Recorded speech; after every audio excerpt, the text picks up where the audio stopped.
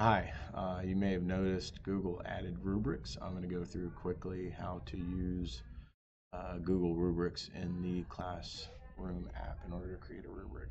Um, we're going to go off the assumption that you already have a um, rubric created like this right here. So I already have one that I'm going to copy from. And you'll notice that uh, all right, so in here, what you'll notice is that you have a create rubric button. I've got my instructions, I've got, you know, my attachments, I've got everything set up. I'm ready to create my rubric. All right, um, so I'm gonna click create rubric.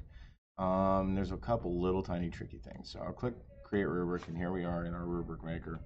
Um, use scoring, you know, you can turn it off if you want or whatever. Uh, sort orders by um, descending or ascending, meaning you want them to go up or down. We'll get back to that in a minute, but I will tell you that Google likes it if you have your highest points to the left. Um, once you go in there and grade, you're going to scroll. The scroll side will be over um, to the right. So you want to, you know, everybody has rubrics that are a little bit different, but you want your rubrics to be over to your highest points to be over to the left. Points, level, and description. Level is if your points are different than your level. I'm gonna leave that blank for now, but you can play around with that a little bit on your own. All right, um, so my first criterion uh, title will be, um, I'm gonna even change it later, but for right now it's gonna be understanding computing devices. All right, and um, the most points, they can score four points, okay, And what do they score four points for? Um, uh, the outputs of the app are clearly described and could be used to address the problem. So that'll be my four point. Okay. And for three points, click the plus sign to add your next level. Copy that in there.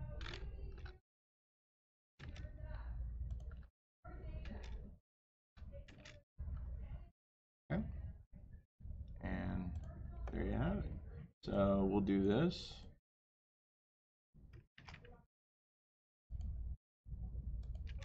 All right.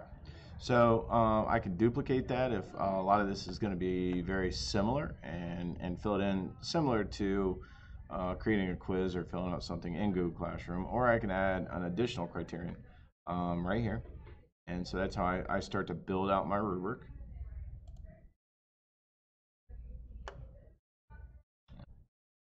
And like I said, you can change uh, descending to ascending, and it just uh, points the one over here and the four over here, the highest score. But I would tell you from um, the little bit that I've used Google Classroom that you're not going to want to do that. You're going to want to leave it like this so that your highest points are over to your left, and it'll be easier to grade when you go through um, all your assignments and you begin grading.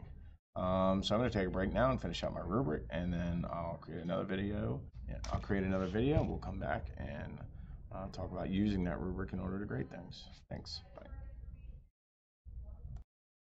All right, I'm back. I have my completed rubric now uh, here. Um, what you'll notice is that we've got it all filled out. Now, how do we use it? All right. Um, so what you're going to want to do is you're going to want to um, you have your list of classwork, your stream, and your classwork, and you've got all your assignments in here. And so you go to it, and you'll notice under here that um, you got your rubric and everything here. And you can click right on view assignment or you can click on turned in and assign you can see and then when you clicked on turned in um, what will happen is it'll give you all the kids that uh, all the students who have turned in stuff and who haven't and from there you're going to be able to uh, see this screen right here all right? And so this screen has their work uh, you know we're going to assume you know I just created all this but we're going to assume that the student uh, did a great job here with the peer review and then here in the project guide. And this tab right here will allow you to see the files that they turned in. And you can go through and and uh, make comments. You can come out here and click and make comments to give them feedback, which is handy. Uh, there's a comment bank where you can um, create comments and it'll automatically fill them, and that's super handy too.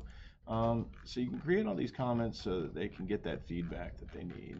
Um, but while you're doing it, the other thing that you're going to want to do while you're providing that assessment and providing that feedback and and looking at their turned in work is you're going to want to grade automatically. And um, so you'll see this tab over here.